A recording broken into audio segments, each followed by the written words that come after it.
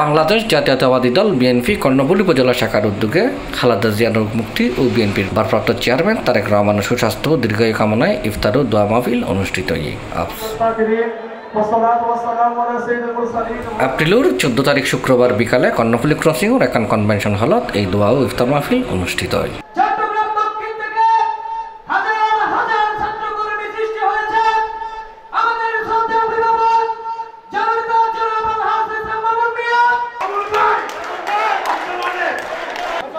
বিএনপির ভারপ্রাপ্ত চেয়ারম্যান দেশ নায়ক তারেক রহমানের নেতৃত্বে এই বেশিরভাগ শেখ হাসিনা সরকারের যে পতনের আন্দোলন শুরু হয়েছে, এই শেখ হাসিনার পতন না হওয়া পর্যন্ত আমরা কেউ রাজপথ ছেড়ে ঘরে ফিরে এই দোয়া এবং ইফতার মাহফিলত প্রধান অতিথি হিসেবে উপস্থিত আছেন বিএনপি চট্টগ্রাম বিভাগীয় সাংগঠনিক সম্পাদক মাহবুবুর রহমান শামীম। দোয়া ও ইফতার মাহফিলের সভাপতিত্ব করেছি চট্টগ্রাম দক্ষিণ জেলা বিএনপির সাবেক সাংগঠনিক সম্পাদক কর্ণফুলী উপজেলা বিএনপির আহ্বায়ক এস এম মামুন মিয়া। অনুষ্ঠান নন কর্ণফুলী উপজেলা বিএনপি সদস্য সচিব হাজি ওসমানের সঞ্চালনায় বিশেষ অতিথি হিসেবে উপস্থিত আছেন চট্টগ্রাম দক্ষিণ জেলা বিএনপির সিনিয়র সদস্য অ্যাডভোকেট এম ফুরকান।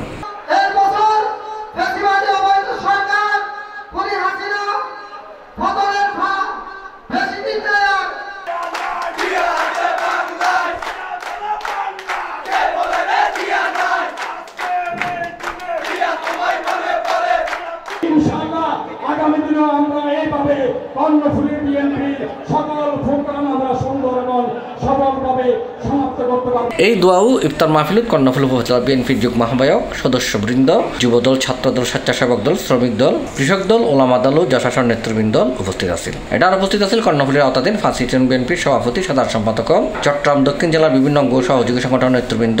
এটা আরও বক্তব্য রেখে চট্টগ্রাম দক্ষিণ জেলা ছাত্রদল সভাপতি, পদপ্রার্থী Kamruddin Sabuj.